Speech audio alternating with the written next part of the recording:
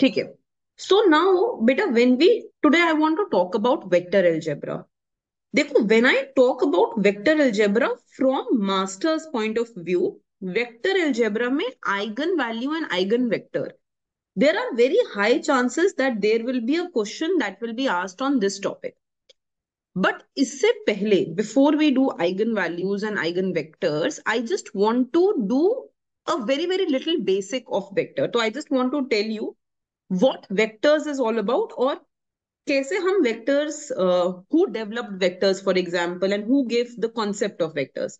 So there was this individual his name was w r hamilton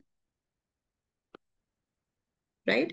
And he is the one who gave the concept of vectors. unhone ye vectors concept start kiya ideally vector concept is to be applied only for science student ज़्यादातर मतलब ज़्यादातर हम vectors को science से relate करते हैं rather than relating it to economics but तो भी थोड़ा बहुत इकोनॉमिक्स में भी वेक्टर्स का यूज़ है.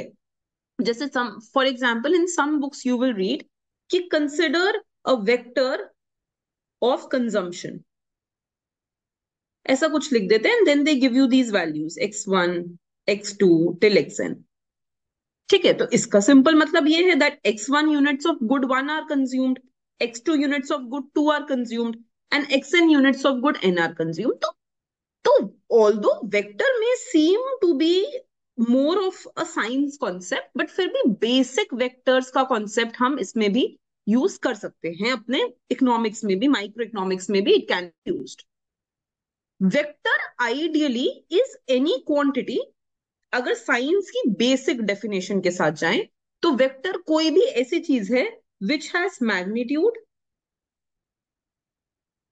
and direction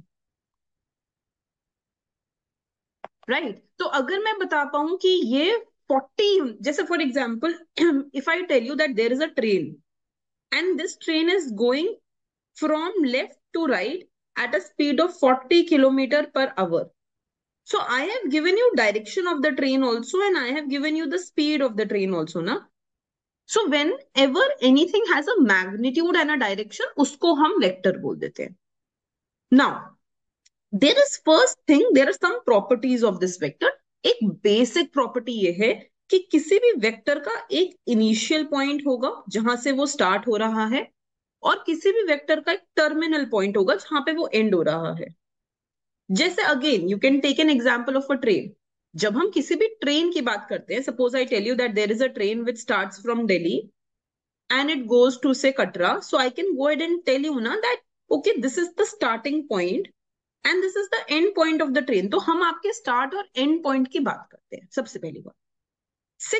Whenever we talk about a vector a vector must have some magnitude और हमें पता है कि अगर हम किसी भी चीज़ के मैग्नीट्यूड की बात करें अगर हम एक क्वांटिटी की बात करें तो ऐसी जैसे स्पीड हो गई राइट तो any magnitude can never be negative magnitude को हम नेगेटिव वैल्यू असाइन नहीं कर सकते.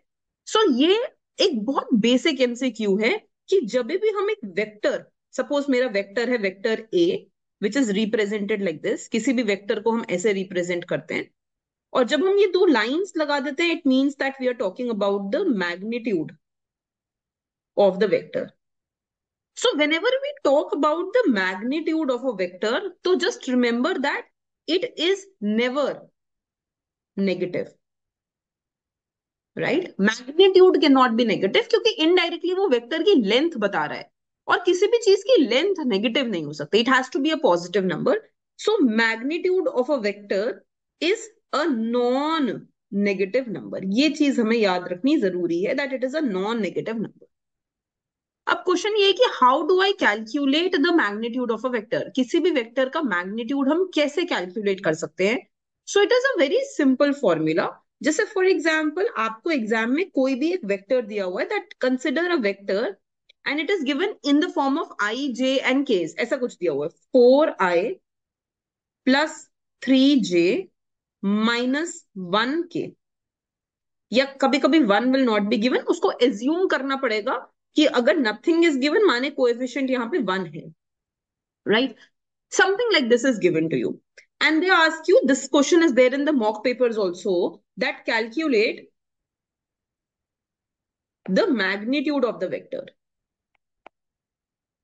तो मैग्निट्यूड ऑफ़ वेक्टर इज़ ये कोएफिशिएंट प्लस ये को एफिशियंट प्लस ये coefficient whole square under root so if I find out the magnitude of vector V तो क्या हो जाएगा?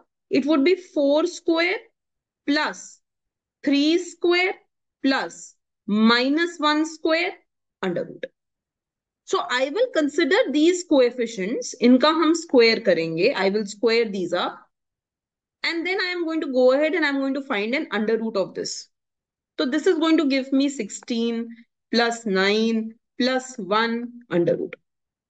Root of under root of 26. So this will be your magnitude.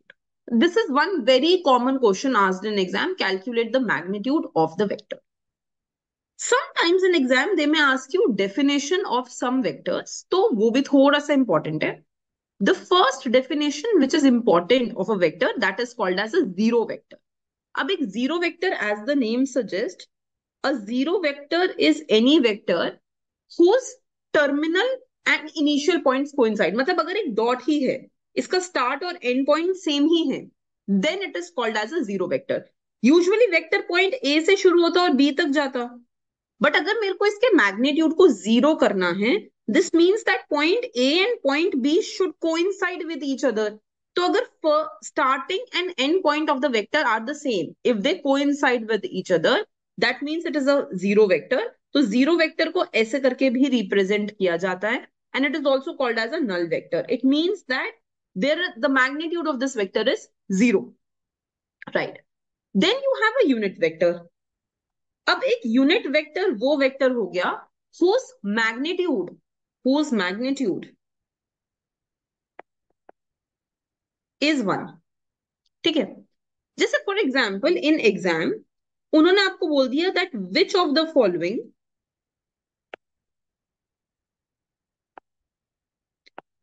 is a unit vector and उन्होंने आपको चार options दे दिए। Right so जैसे यहाँ पर कुछ होगा, जैसे x I plus y J plus z K कुछ चार आपको वेक्टर्स दे दिए which of the following is a unit vector तो हमें बस ये देखना होगा कि कौन से ऐसे कोएफिशिएंट्स हैं such that when they are squared and उनका अंडर रूट निकाला जाए that should give me one because if they are unit vector तो इनके कोएफिशिएंट्स को स्क्वेयर करके अंडर रूट निकाल के I must get the answer as one और और if I square on both side I must get x square plus y square plus z square as one this becomes a unit vector sometimes थोड़ा सा और easy कर देंगे. So they may go ahead and say that assume equal coefficients फिर एक unit vector के coefficient क्या हो सकते हैं?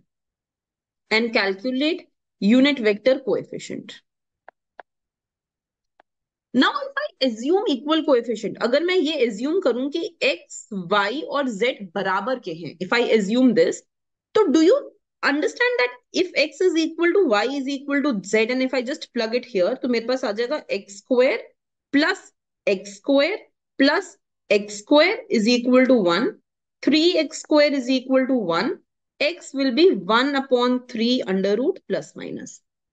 तो मतलब मेरे कितने सारे इससे यूनिट वेक्टर्स क्रिएट होते हैं? So I can I know x is equal to y is equal to z so if x is one by root three y को भी मैंने वन बाय रूट थ्री बोला जेड को भी मैंने one by root three बोला. So if I write this if I write this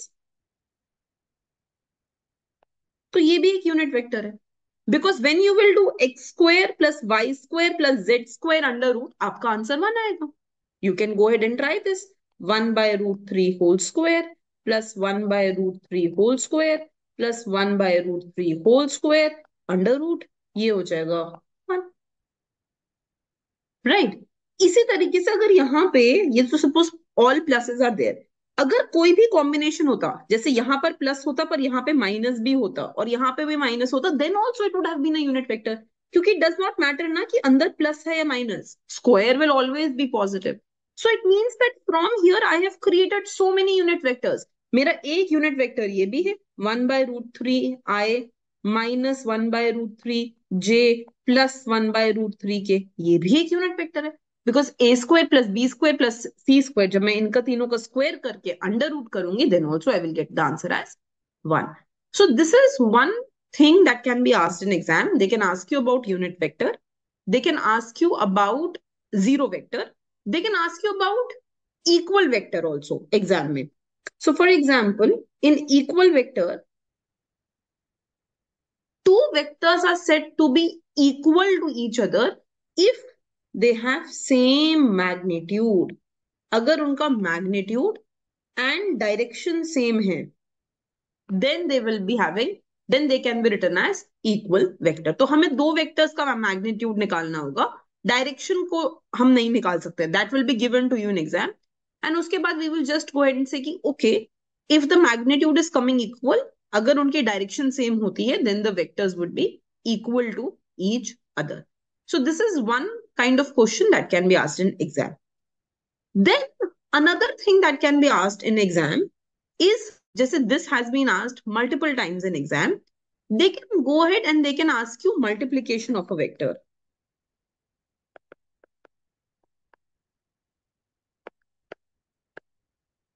Now, when we talk about multiplication of vector, so a basic multiplication of vector which can be asked in exam is scalar multiplication.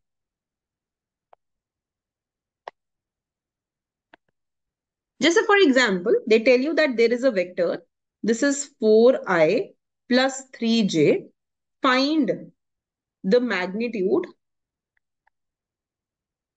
of three times the vector तो माने पहले तो उन्होंने बोला कि इस vector को हमें थ्री से मल्टीप्लाई करना है। Okay we can just go and multiply it with three and उसके बाद उन्होंने बोला कि जो वेक्टर आएगा कॉरेस्पॉन्डिंग जो वेक्टर आएगा, उसका हमें मैग्नीट्यूड निकालना है। So if I just multiply my vector with three तो this will be three times four i plus three j तो ये हो जाएगा twelve i plus nine j और अब अगर इसका हमें मैग्नीट्यूड निकालना है so we can just go ahead and say कि इसका जो मैग्नीट्यूड हो जाएगा that will be twelve square plus nine square under root that will be the magnitude of the vector तो this kind of question can be asked in exam So let me give you some of the question. You will go ahead and just quickly answer this beta to me before we go ahead. So I am telling you that there is a vector A and A represents xi plus 2j plus zk and I'm telling you there is a vector B and B is representing 2i plus yj plus k. You need to tell me the value of x, y and z. X y and z का आपको मुझे value देना है I am telling you that the two vectors a and b are equal to each other just go ahead and tell me what will be x y and z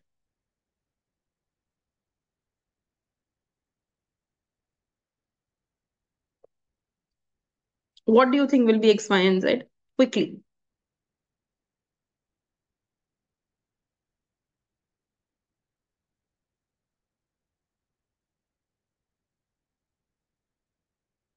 Anyone? 2, 2 and 1. Okay.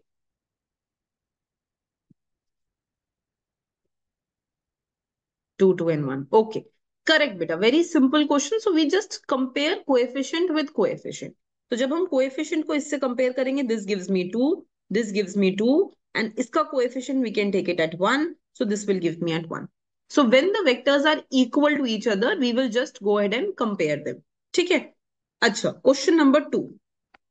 I am telling you that vector A is i plus 2j and vector B is given to you as 2i plus j. You need to tell me are the two vectors equal to each other? Are the two vectors equal to each other? This is tricky. Go ahead and solve this and tell me. Are the two vectors equal to each other?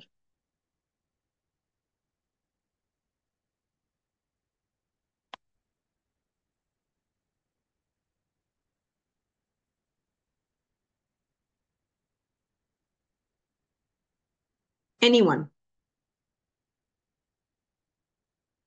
okay magnitude is same hmm अच्छा now just think about it ध्यान से सोचना हाँ? बेटा, जब ऊपर वाला question किया और मैंने बोला कि the two vectors are equal to each other किसने जाके मैग्नीट्यूड निकाला? How many of you tried to find the magnitude none क्या किया? जब इक्वल करना था you equated this to this this to this and this to this यही तो किया to tell that the vectors are equal so direction equal होने के लिए सो जस्ट लिसन हाँ? The two vectors have the same magnitude तो अगर कोई मुझसे पूछेगा कि is magnitude of a equal to magnitude of b I will say yes कैसे? ए का मैग्नीट्यूड हो जाएगा this is coefficient one this is coefficient one तो ए का मैग्नीट्यूड हो जाएगा one square plus two square under root that means it is going to be root of five बेटा B का क्या मैग्नेट्यूड हो जाएगा? Two square plus one square under root that means under root five हाँ magnitude is same तो अगर मेरे को it's an MCQ question you given four options and it is saying which of the following statement is true तो अगर option में दिया हुआ magnitude a is equal to magnitude of b yes ये तो ट्रू है. बट जब हमें ए इक्वल टू बी करना है तो we want with magnitude the direction should be the same और उसको चेक करने के लिए we require corresponding components to be the same just like like हमने इस क्वेश्चन को सॉल्व किया। हमने इसके कंपोनेंट को इससे इक्वल किया, इसके कंपोनेंट को इससे और इसके कंपोनेंट को इससे। Component to component equality has to be matched so we can say that yes the magnitude of a and b is the same, दोनों का रूट फाइव आ रहा है but the two vectors are not equal to each other that is how I will check the direction of the vector ठीक है? So I need to equate this to this and this to this which is not equal in each other okay बेटा।